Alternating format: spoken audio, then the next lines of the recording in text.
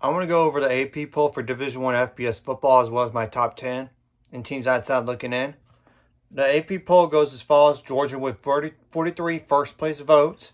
Michigan with 40, 16 first place votes. Ohio State with one first place vote. Florida State with one first place vote. Number five is Washington with two first place votes. Nobody else was getting any more votes.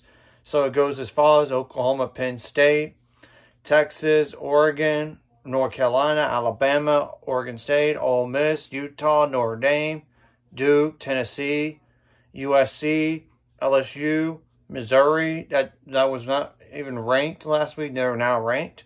Again, they're in six and one. Louisville dropped obviously seven spots. Air Force is in. Tulane is in. Uh, and Iowa. Iowa, I don't know. But they beat Wisconsin though.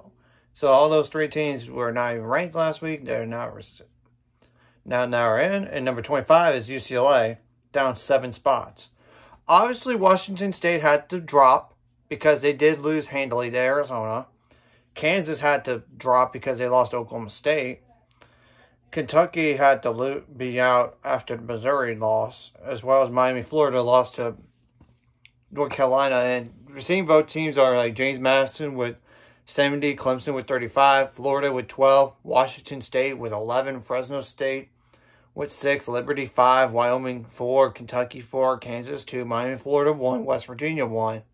How in the world they're receiving votes after that loss to Houston is besides me, but hey, credit to them.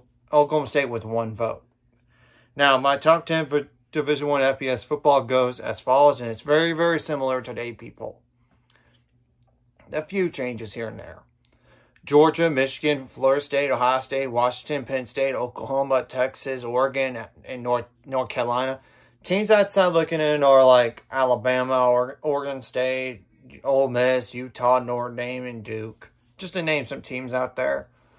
And we'll have to wait and see what happens this week anyways. If you like this content, like and subscribe and see you guys later on the road to 600 subscribers. Of course, ultimate goal is a thousand or more to get make money. And of course, liking a video, commenting a video, interaction really helps the channel so more people could see it. And of course, ultimately, uh, hit the notification bell as well. And it, it could lead up to people hitting the subscribe button too. So